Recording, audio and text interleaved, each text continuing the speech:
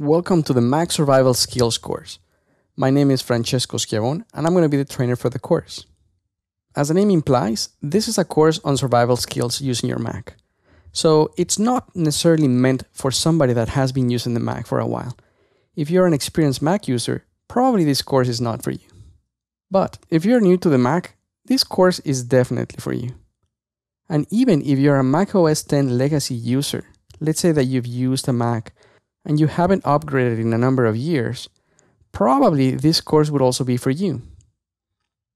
As a survival skills course, we're going to start with basics about the Finder, which is the main interface and the main program for your Mac.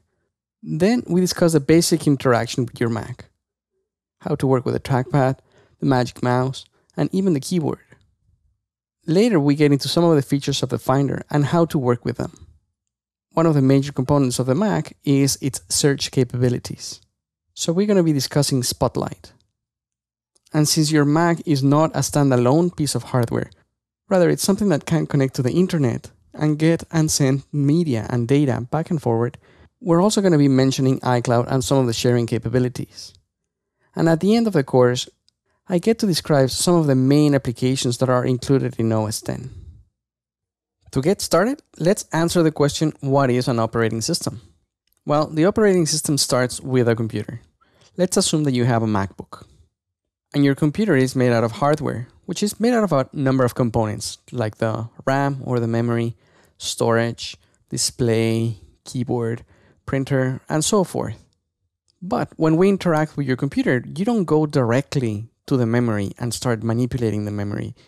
You actually use applications things like Photoshop, Word, Cubase, Logic Pro. And the piece that sits between the software and the hardware is the operating system. So the operating system is the one that manages interaction between the software that you use, the applications that you use, and the hardware where those applications are running on. In the case of the Mac, it's called OS X. And the way we ourselves interact with OS X is by actually becoming the interface that we use or that we see to work with our Mac. And what I mean by the interface, I mean the way things feel and look.